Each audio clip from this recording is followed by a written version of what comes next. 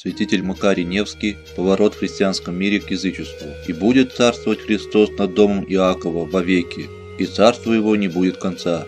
Евангелие от Луки, 1 глава, 33 стих. Это предречение небесного вестника начало исполняться еще во время земной жизни Господа Иисуса Христа, когда народ израильский, видя чудеса его, хотел поставить его царем. С большей силой предречение о царствовании Христа стало исполняться после вознесения его на небо. Исполняется оно до ныне и должно исполниться во всей силе в определенное для того время, когда ему покорены будут все враги, и в празднится последний враг – смерть. Христос, Бога-человек, должен царствовать, но царство его иное. Оно должно устраиваться на иных началах, чем царства земные. Его царство не от мира сего. Он имеет покорить себе все народы, но не мечом и огнем, а свойственной ему одному всепокоряющей силой, которая есть есть Дух Святой, посланный им на землю, Дух всеоживляющий, Дух чудодействующий, Дух любви, правды и мира. Не прошло и тысячи лет со дня рождения Христа Спасителя, как все народы греко-римского мира пали к подножию креста и признали над собой власть Христа. И через Рим и Византию учение Христово распространилось во все концы земли. Евангелие Христово преобразовало языческий мир. Законы евангельские легли в основу законов государственных у всех христианских народов. Но через тысячу тысячу лет, как бы выполнение апокалиптического предречения, дракон, древний змей, который есть дьявол и сатана, связанный и заключенный в бездну,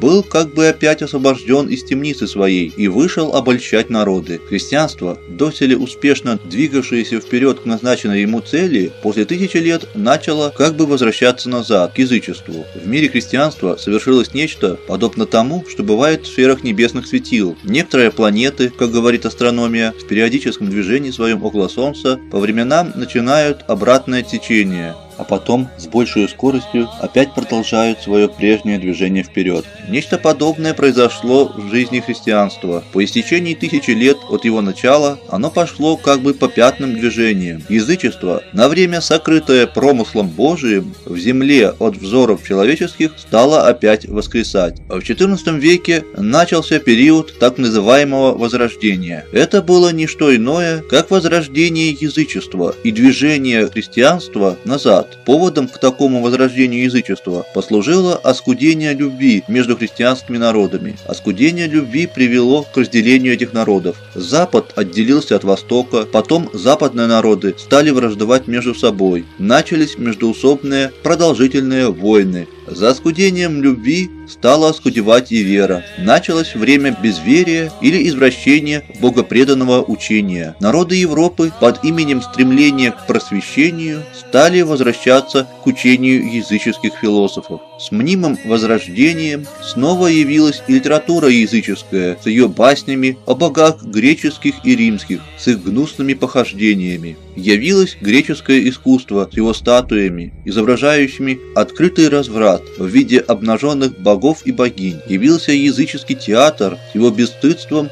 и мерзостями тем вместе и развращение среди христианских народов пошло широкой волной, и всех народов Европы франки или галлы превзошли остальных своим антихристианским направлением. Под прикрытием философии явилось безбожие или атеизм. Под именем энциклопедии явилось кощунство или дерзкое издевательство над христианскими истинами, над его святынями. Пороки, не сдерживаемые верой и законом Божиим, дошли до крайних пределов. Вместо христианского смирения явилось сатанинская гордость, вместо любви – безмерное самолюбие или эгоизм, вместо целомудрия и воздержания – крайний разврат. Имя Христово было изгнано из литературы, стыдились произнести его и в живой речи. Но зато учащаяся молодежь хорошо знала имена языческих богов. Зевс и Венера, Орфей и Муза у всех были на языке. Богохульство и кощунство дошло до того, что в священнейшем месте христианского храма поставлено было изображение развратной женщины,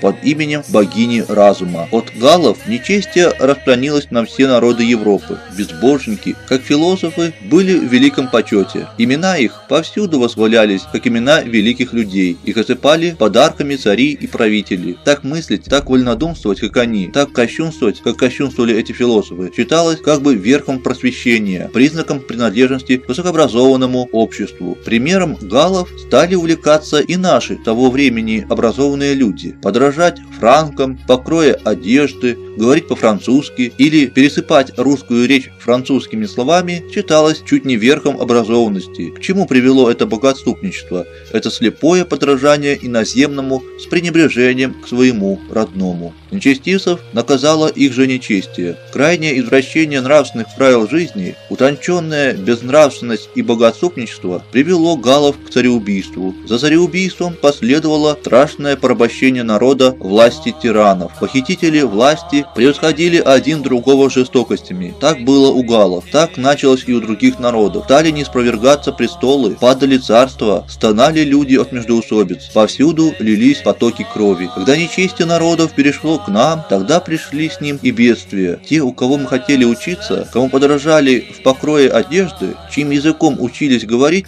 те явились в руках промысла Божия, грозными карателями нас, за начавшееся у нас отступничество от Бога, от церкви, от добрых обычаев предков. Пришел 1812 год, страшный, преснопамятный год. Враг дошел до Москвы, этого сердца земли русской, запылала столица огнем гнева Божия. Дворцы и палаты разрушались, храмы были ограблены, святыня осквернена. Но Господь скоро помиловал нас. Враг с бесчестием был прогнан земли русской, но мы прогнали его не многочисленностью нашего войска, ибо у врага было такового гораздо больше, чем у нас, и оно все погибло у него. Не искусством наших вождей совершена была победа над врагом, ибо мы более уклонялись от битв, чем вызывали врага на бой. И кто бы мог тогда сравняться с непобедимым вождем, покорившим один за другим народы Европы, не сводившим царей с престолов и отдававших короны тем, кому он хотел? Нас спасла милость Божия. Господь возрел на смирение и покаяние наше, услышал слезную молитву той части нашего народа, которая мало повинна была в грехе отступления. Бог услышал и спас нас ради молитв святых заступников земли русской. Эту истину исповедал в свое время и сам верховный вождь земли русской, повелевший сделать на знаках, установленных в память этой войны, надпись «Не нам, Господи, не нам, но имени Твоему дашь славу». Той поры прошло без восьми сто лет. Мы как бы забыли старый урок. Опять у нас началось такое же отступничество и опять подражание народам Европы. Прежний атеизм, безбожие, заменился нигилизмом, отрицанием всего. Мы страдаем от тайных обществ социалистов, анархистов. Наше молодое поколение,